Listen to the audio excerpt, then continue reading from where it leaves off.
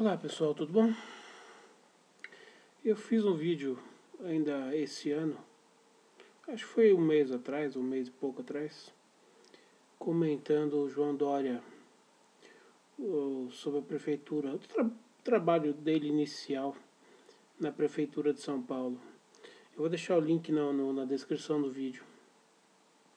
Esse vídeo é um pouco diferente com o aparecimento aí dos, dos caciques PSDBistas na lista da Odebrecht, na lista do Faquin, na, na lista das delações, Serra, Aécio, Alckmin e outros que vão aparecer por aí.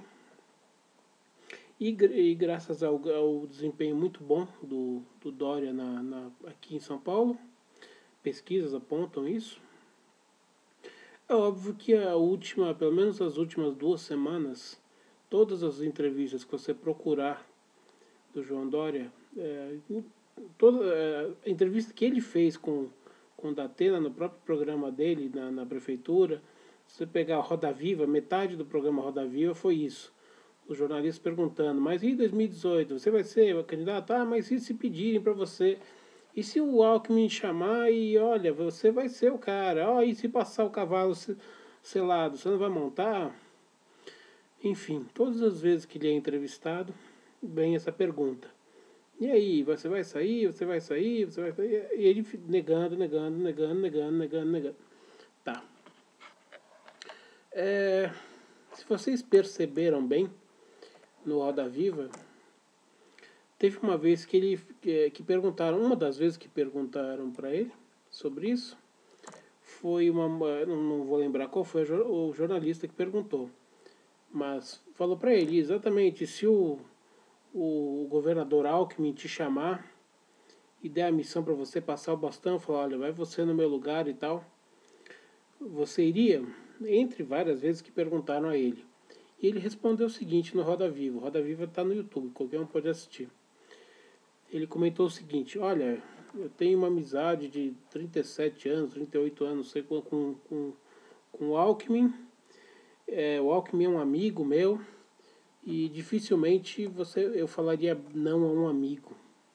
Ou seja, é, eu não quero ser, aquela vez eu não quero ser, eu não estou pressionando nada.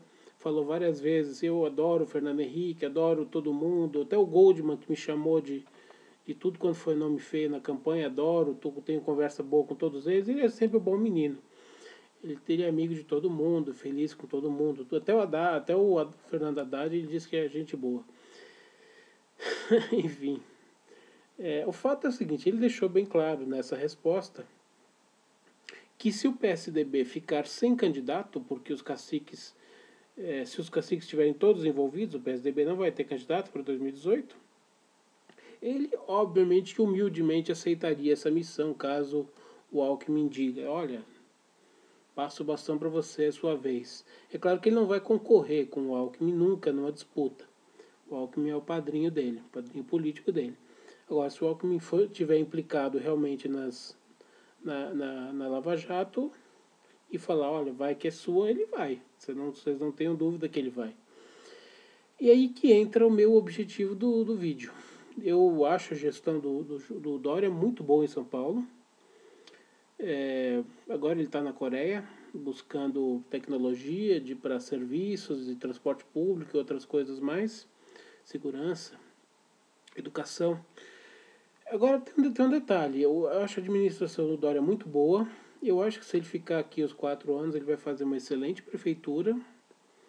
Por quê? Primeiro porque ele é mais do que um gestor, ele é um pragmático ele recebeu uma prefeitura quebrada do Haddad, com 6 ou 7 bilhões de dívida, não sei exatamente o número, acho que 7 bilhões. É, e não tem dinheiro para investimento, tá certo? Então, o que, o que, que ele está fazendo? Ele tem trânsito livre, trânsito fácil entre os empresários, e ele está conseguindo doação de empresários. Ele liga o presidente de um, ó, precisa de umas motos, umas, uns carros para CET, para usar aqui na Marginal, ponto. Os caras vão lá e doam. Ah, preciso de livro, preciso de remédio, preciso disso, preciso de tinta para pintar, enfim. Tudo que ele conseguiu, tudo que ele tentou, ele conseguiu. É claro que essas doações não vão durar quatro anos. Né? A iniciativa privada não tem dinheiro para você doar durante quatro anos, você fazer uma prefeitura inteira com o dinheiro da iniciativa privada. É impossível isso. É, isso está sendo usado como uma emergência para esse primeiro ano, para tentar recuperar as finanças da prefeitura, é, destruídas né, pelo, pelo maravilhoso Haddad, que é aquele bando de cornos que foram na Paulista dizer valeu Haddad o ano passado, eles deviam fazer uma vaquinha para pagar o rombo que o Haddad deixou na prefeitura, já que eles gostam tanto desse safado, deviam fazer a, a vaquinha para pagar essa, essa, esse rombo que ele deixou. Ou então complementar a frase, valeu Haddad por ter torrado todo o nosso dinheiro, ter quebrado a prefeitura. Sou um idiota, votei em você. Aí ficava uma frase mais bonita. Mas enfim. Por que que o vídeo tá, tá com João Dória presidente em 2018. É porque eu vou votar nele em 2018? Não, absolutamente não. O vídeo é exatamente para mostrar essa diferença. Para você ser prefeito de uma cidade, uma cidade grande como São Paulo, o que, que você precisa fazer? O que, que ele está fazendo? Ah, eu vou, vou. Hoje eu vou no, no terminal não sei o que de ônibus. Pego e ando de ônibus para ver como é que tá a linha. Ah, precisa fazer isso, aquilo, aquele outro. Ah, amanhã eu vou numa creche, vamos ver como é que está funcionando. Ah, precisa disso, disso, ah, vamos arrumar dinheiro para botar o que precisa. Ah, vou numa escola, ah, precisa consertar o telhado, precisa arrumar, cortar a grama, tá, beleza, vamos lá, resolve. Amanhã vamos num posto médico, ok, tudo bem. Ah, precisamos resolver o problema da passarela aqui de Congonhas, tá, porque desde que foi mexida lá por causa da construção do, do, do, do trem lá que vai, vai ligar o metrô com, com Congonhas, é, ficou provisório e ninguém mexeu mais nisso.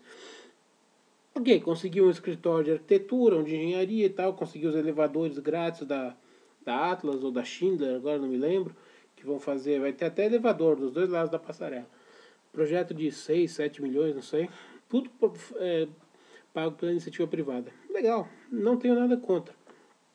Agora, isso é, um, é atividade de prefeito. Então, como prefeito, ele pode muito bem governar sem precisar entrar em assuntos políticos.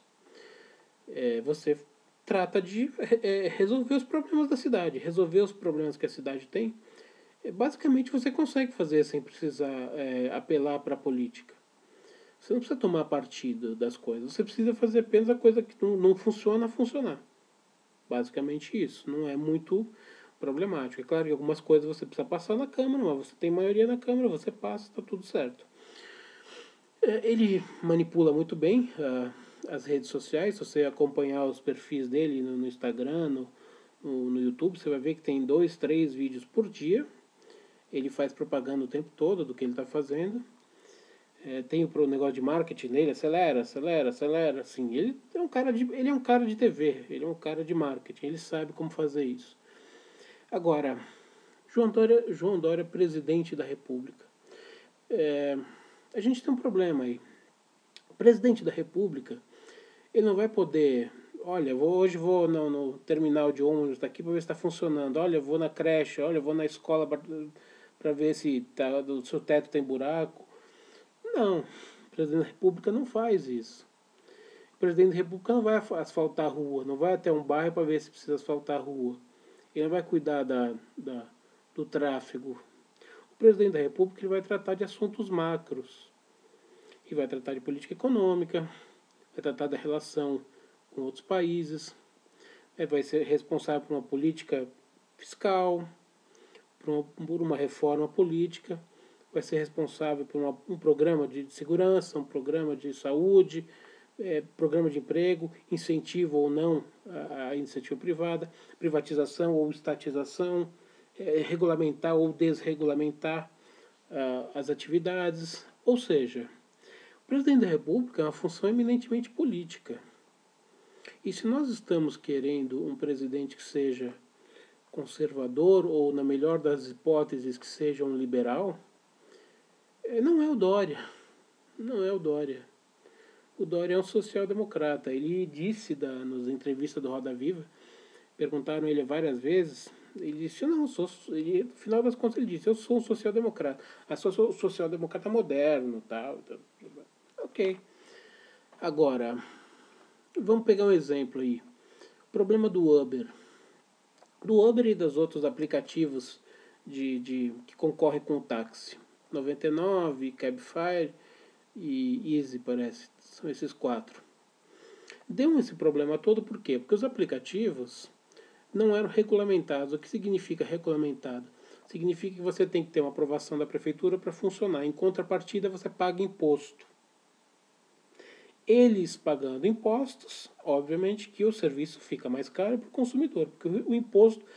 Aprenda uma coisa: toda vez que o governo fala, eu preciso regulamentar determinada atividade, ou seja, eu preciso taxar determinada atividade. Eu vou taxar o empresário, mas o empresário vai botar isso no custo do produto, do serviço que ele vai te fornecer. Então, toda vez que o governo disser, eu vou taxar um serviço, eu vou, eu vou é, legalizar um serviço, eu vou regulamentar um serviço, significa, eu vou botar um imposto mais no seu cu, certo? Você vai pagar mais caro pelo, por aquilo que for regularizado, você vai pagar mais caro. Por que, que os táxis são mais caros que o Uber? Porque eles têm que pagar um monte de taxas para a prefeitura, é simples assim. Então, se ele fosse realmente um liberal, o, o Dória, o que, que ele ia fazer? Ele não ia querer regulamentar o Uber e os outros aplicativos. Ele ia desregulamentar os táxis, assim, tirar essa, essas taxas que os taxistas têm que pagar. Abaixar o volume de taxas, abaixar, melhorar a burocracia da coisa. Primeiro, para que as pessoas pudessem ter um táxi, porque você não pode ter um táxi. Se você quiser um táxi, você tem que comprar uma licença de táxi que custa 100 mil reais. Ou então você tem que esperar quando a prefeitura abre um concurso, tipo um concurso para você ir lá. Se você for sorteado, você ganha uma licença. Ou seja, se eu, não, eu não posso, assim, eu, não, eu tenho um carro aqui, eu quero comprar, eu quero virar táxi. Eu não posso, você não pode fazer isso. Você depende da aprovação da prefeitura. E é só de tempos em tempos que ela libera essa aprovação e é por sorteio, porque tem uma quantidade limitada. Tanto que muita gente ganha essa licença e não usa. Porque a licença vale uma fortuna. Então eu ganhei a licença, não vou usar, aí eu alugo. Eu compro um táxi, uso essa licença e boto uma outra pessoa para trabalhar. Aí ela trabalha para mim. Então, por que, que apareceu o Uber? Porque o serviço de táxi, além de ele ser ineficiente, ele é caro por causa dessa regulamentação e ele é insuficiente, porque tu, você precisa aguardar que a prefeitura chame e faça um sorteio de novas licenças de táxi. Ou seja, o, o Uber apareceu porque o sistema é ruim. O sistema de, de, de, de, de burocratização para você conseguir um táxi em São Paulo é muito ruim. Então, se o Dora fosse um, um liberal, ele teria feito isso. Seguinte, a gente, come, a gente tira essa, essa sobretaxa que os táxis pagam, esse monte de licença, esse monte de dificuldade que faz com que licença de táxi seja vendida até em, em, no mercado negro, e resolve o problema, porque aí os taxistas não ficam sobretaxados e eles podem disputar com o Uber. Aí eles disputam quem tem melhor tarifa, quem agrada mais o consumidor e pronto. Não. Qual é, qual é a opção? Não, nós precisamos regulamentar o, os aplicativos, ou seja, nós precisamos taxar os aplicativos, ou seja, nós vamos cobrar imposto das empresas e as empresas vão repassar impo o imposto para o consumidor e o consumidor vai ter tudo regulamentado, ou seja, tudo vira, tudo fica caro. Então o Uber, que era uma opção barata, vai, vai ser uma opção cara também, como o táxi. Então aí você vai ter duas opções caras, ou Uber ou táxi. Então, de qualquer maneira, é na sua bunda que entrou. Você deixou de ter a opção barata. Por quê? Porque a porra do Estado quer sempre morder um pedaço a mais do seu dinheiro. É, esse é o problema do Estado brasileiro. O Estado brasileiro ele quer sempre, toda vez que, de novo eu vou dizer, toda vez que ele fala que vou regulamentar alguma coisa, significa eu vou taxar alguma coisa. Se eu vou taxar alguma coisa, qualquer pessoa que tem uma empresa sabe disso. O governo aumenta imposto para mim, eu repasso esse imposto no, no, no, no ponto de venda, no ponto final. Ou seja, vai no produto final, é o consumidor que paga. A minha matéria-prima subiu. Eu repasso isso, quem paga é o consumidor. Aumentou o imposto. Quem paga isso é o consumidor. É sempre o consumidor. E quem é o consumidor? Somos todos nós. Alguns de nós são empresários, alguns de nós têm empresa. Então, quando você recebe um aumento do governo, você consegue repassar. Agora, todos nós somos consumidores. Todos nós vamos no supermercado, todos nós compramos arroz, feijão, carne, vamos no, no restaurante, vamos no, no, no mecânico, vamos no shopping comprar roupa, sapato. Todos nós somos consumidores. Você está comprando um sapato, você é consumidor. Então, quanto mais aumentar o preço para a indústria do sapato, eles vão repassar esse preço para a loja, a loja vai repassar esse preço para o consumidor e quem vai pagar essa conta somos nós. Então, regulamentação significa aumento de imposto. Aumento de imposto para quem? Para quem vai pagar no final, que é o consumidor. Então, é, essa, só essa atitude que a gente viu na, na cidade de São Paulo, do Dória, em querer regulamentar os aplicativos, ao invés dele desregulamentar e desburocratizar os táxis, já mostra que na cabeça dele ele continua o pensamento de esquerda. Eu sou a favor da iniciativa privada, certo? Vamos deixar todos trabalharem. Só que eu vou regulamentar todos e vou taxar todos. A social-democracia. A social-democracia que quebrou a França, quebrou a Alemanha, quebrou a Inglaterra, quebrou todos os, os principais países da Europa. É, nada mais é do que o, o o comunismo disfarçado de, de, de socialista fabiano. O que é o socialista fabiano? Eu não vou estatizar tudo. Aliás, eu vou privatizar a maior parte das coisas. Só que você, eu vou taxar tudo, eu vou regulamentar tudo, ou seja, tudo que vocês produzirem, cada coisa, cada valor que vocês produzirem, eu vou cobrar mais imposto, eu vou comer mais do seu dinheiro, mais do seu dinheiro, mais do seu dinheiro. E no final das contas eu não preciso estatizar nada.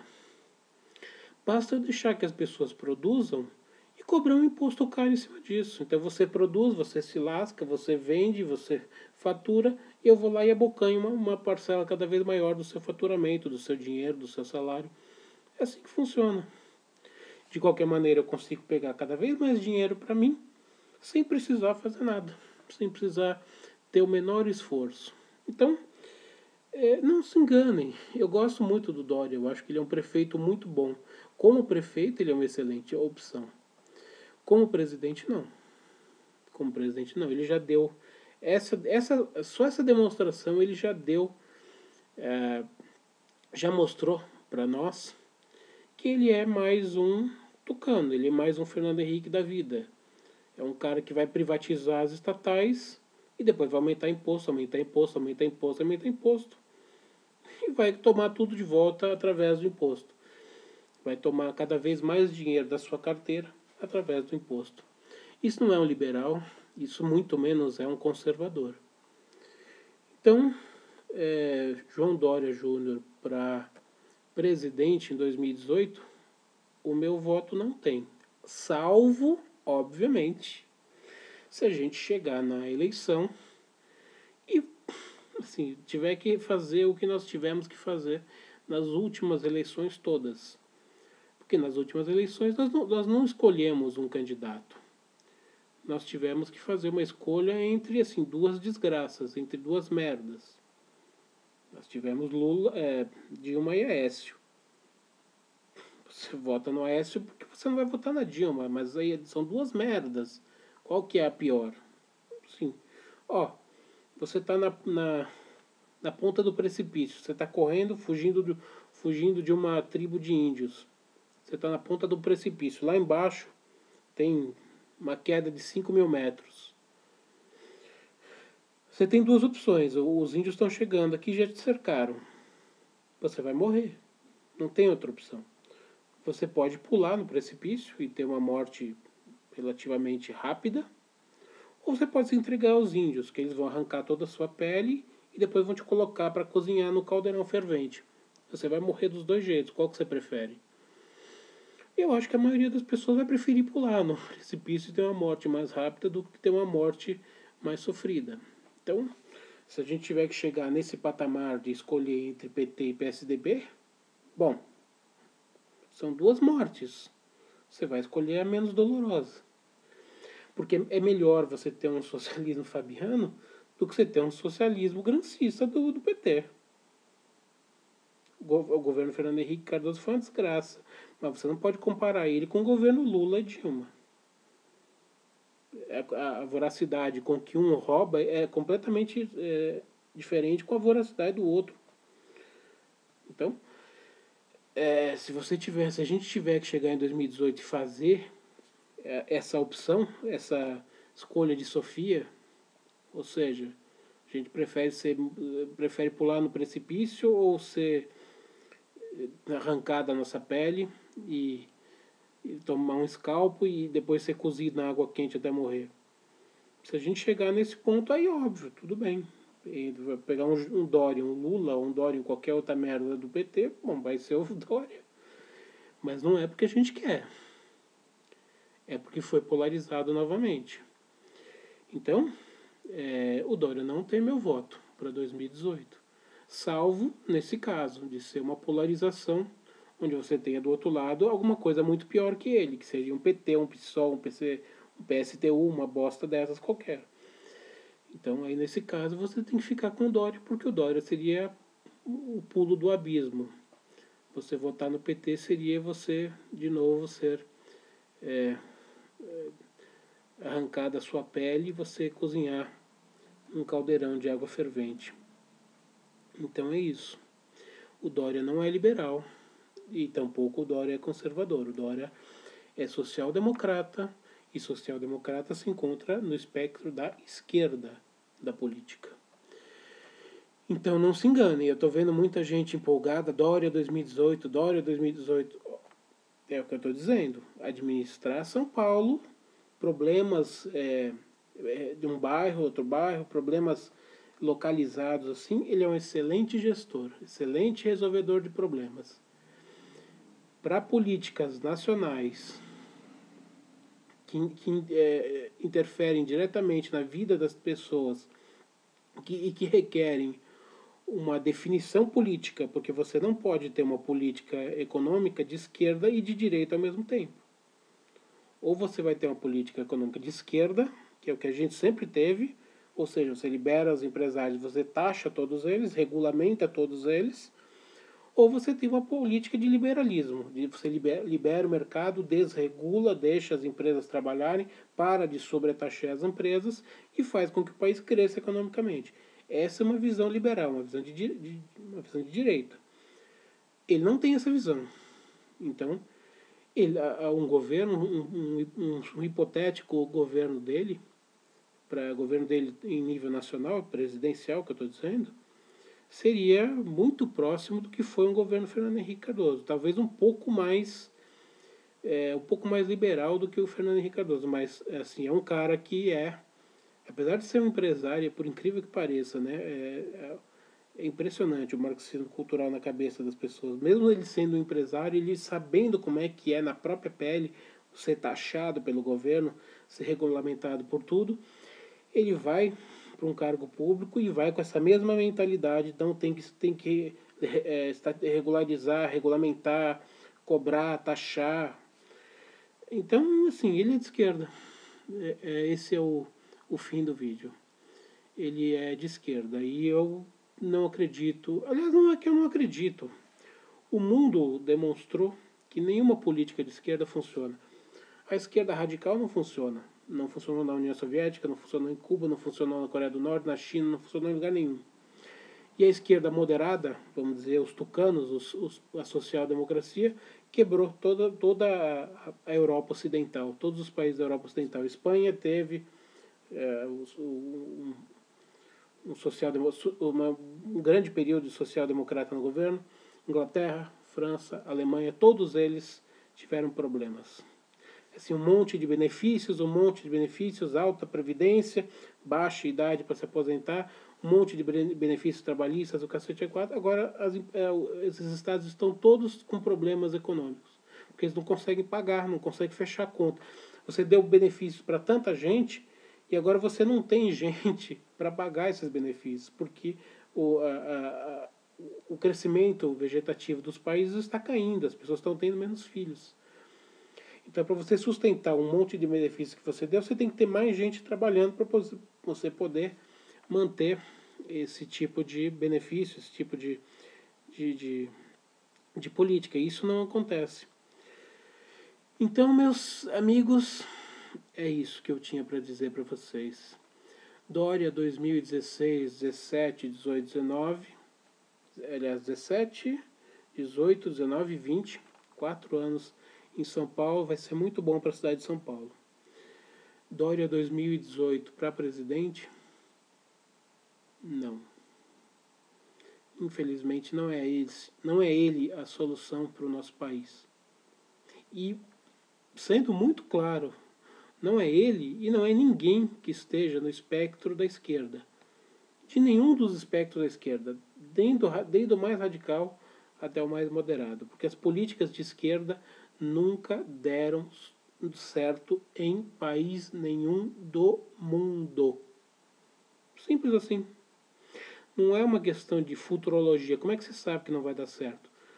Estudando a história e vendo os países onde, foi, onde foram aplicadas essas políticas de esquerda e descobrindo que eles não deram certo, todos eles quebraram.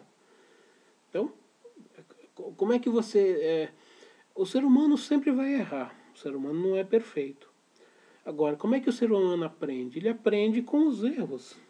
O, o, o, homem comum, ele aprende com seus próprios erros. O homem que é inteligente, ele aprende com os erros dos outros. Então, se você analisa a história você vê que outros países já tentaram as políticas econômicas de esquerda e quebraram, então é, o aprendizado deles mal sucedido serve de exemplo para você não cometer o mesmo erro. Qualquer pessoa inteligente deve pensar desse jeito. Então, é, o fato de, de ele não servir para 2018 para o presidente é simplesmente pelo fato de que ele continua sendo uma pessoa de esquerda, ainda que seja uma esquerda light, uma esquerda é, que come com talheres de prata e come escargot, ao invés de tomar cachaça como Lula, mas é de esquerda, tá certo? Então é só isso que eu tinha para dizer. Ah, e uma reclamação que eu tenho a fazer, hein? Aqui ele está administrando São Paulo muito bem, mas tem um detalhe. Ele vai acabar com o bilhete único, né? Que é aquele, aquele bilhete automático que você usa nos ônibus e metrôs. Tem um detalhe é, 7% não usa bilhete único.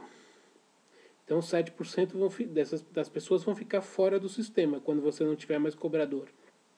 Ele já está fazendo teste em algumas linhas sem cobrador, porque a ideia é tirar os cobradores. Ele não vai demitir os cobradores, os cobradores vão virar motoristas, vão fazer outro tipo de serviço. Ok. E esses 7%, o que, que fazem? Não fazem ou eles são obrigados a tirar, a tirar um bilhete único, que é um negócio extremamente chato e burocrático, que você tem que tirar em alguns, alguns terminais específicos e tem uma burocracia para você fazer isso. Ou então, quem não tirar simplesmente não vai andar nos ônibus mais de São Paulo. E é muito engraçado isso, porque São Paulo pode vir a ser a única cidade que eu conheço do mundo onde um turista chega no aeroporto e se ele quiser pegar um ônibus para ir até o hotel dele, não vai poder pegar. Porque vamos supor que um turista. Não vou, nem, não vou nem falar de um turista internacional. Vamos falar de um turista que venha do Rio de Janeiro ou de Brasília. Ele desce aqui em Congonhas, um, um aeroporto que está dentro da cidade de São Paulo. Na frente de Congonhas tem um monte de linhas de ônibus que descem no centro de São Paulo, que é uma das. Uma da, desce no centro e tem, tem linhas de ônibus que fazem Paulista também. Avenida Paulista. Centro e Avenida Paulista é onde ficam a maior parte dos hotéis, é onde tem a maior procura de, de pessoas para ficarem hospedadas lá. Esse turista vai chegar e não vai ter opção de transporte público, porque no aeroporto de Congonhas não tem onde você comprar um bilhete único. Então ele não vai poder pegar um ônibus porque ele não tem dinheiro, ele tem dinheiro, mas ele não pode pagar porque não tem cobrador e o, e o, e o motorista não recebe ele não tem o bilhete único, ele não pode pegar um ônibus. Esse vai ser o único caso no mundo que você vai ter um, um turista chegando no aeroporto e ele quer pegar um transporte público, o único que tem é o ônibus, porque o metrô não tem no aeroporto de Congonhas, e ele não pode, ele vai ser obrigado a pegar um táxi ou um Uber para ir até o seu hotel ou até onde ele tiver que ficar hospedado ou até onde for o compromisso dele. Não é uma coisa impressionante? O Dória está viajando o mundo inteiro para fazer uma tecnologia São Paulo. Ele quer colocar semáforos inteligentes, ele quer melhorar o transporte, ele quer fazer, quer pôr Wi-Fi e, e, e ar-condicionado em todos os ônibus. Tecnologia total. Aí chega um turista aqui, desce no aeroporto, eu quero pegar um ônibus até o centro de São Paulo. Não pode, você precisa ter um bilhete único. Quando é que eu compro? Ah, você vai ter que ir lá num terminal, fica sei lá quantos mil quilômetros aqui daqui. Estou brincando, mil quilômetros não, mas provavelmente o mais próximo do aeroporto de Congonhas deve ser o terminal Jabaquara. O cara vai ter que pegar um táxi até lá, vai gastar meia hora ou uma hora, dependendo do trânsito. E vai ter, ele vai ter que entrar numa, numa, numa fila para fazer um bilhete único. Uma pessoa que, mora em, que não mora em São Paulo vai ter que faz, fazer isso se ele quiser usar o transporte coletivo em São Paulo. É uma piada isso, né? É uma piada. Infelizmente é uma, é uma piada. Eu mesmo não sou usuário de ônibus, usuário, é, usuário normal de ônibus. Mas de vez em quando eu preciso ir ao centro, preciso ir fazer alguma coisa assim. Então, se eu quiser ir ao centro, é muito próximo. Eu tenho, tenho linha de ônibus aqui perto de casa que desce, pega praticamente vazio, desce no ponto final no centro, faz o que tem que fazer, pega ali e volta. Se essa implementação dos ônibus sem cobrador for é, colocada em prática, eu não tenho bilhete único, eu não vou poder mais fazer isso. Simplesmente. Eu e mais não sei quantos mil paulistanos que de vez em quando precisam pegar um, ônibus não vai poder pegar mais, porque simplesmente você vai ser obrigado a fazer um, um cadastro maldito, que não tem, obviamente, aqui, aqui no bairro não tem. Só tem nos terminais afastados, como eu já disse. É uma piada. É uma piada. Se quer fazer um negócio tecnológico, faça. Então faz o seguinte, coloca na porra da, da, da catraca uma opção que você passe um cartão. Porque o cartão todo mundo tem. Cartão de débito, de crédito, do diabo que for. Porque aí um cara que vem de outro estado, ou quem não tem bilhete único, passa lá o cartão, passa o cartão e pronto. O cara consegue usar o sistema, sem precisar do cobrador. Agora, sem essa opção, você tira o cobrador, então você está excluindo. É, 7% parece pouco, né? A região de São Paulo metropolitana tem 20 milhões de pessoas. Eu não sei quantas dessas são usuários de, de ônibus, por exemplo, de transporte público. Agora, 7% de uma cidade com 20 milhões de pessoas não é pouca coisa. Então é muita gente que você está tirando do, do você está tirando da opção de usar esse tipo de transporte. Quer dizer, é uma palhaçada, né? Assim, é uma coisa que é só pensar. Você faz um negócio tecnológico, então um aplicativo, alguma coisa, que a pessoa passa, ou com cartão de crédito, ou com celular, alguma coisa que ela passe no, no ali na catraca e consiga usar e pagar. Não parece ser tão difícil, né? Nós estamos em 2017, não estamos em 1915. Mas enfim, fora essa crítica, eu acho que ele está fazendo um bom trabalho na cidade. Mas não tem meu voto para 2018, tá bom? Uma saudação e até a próxima.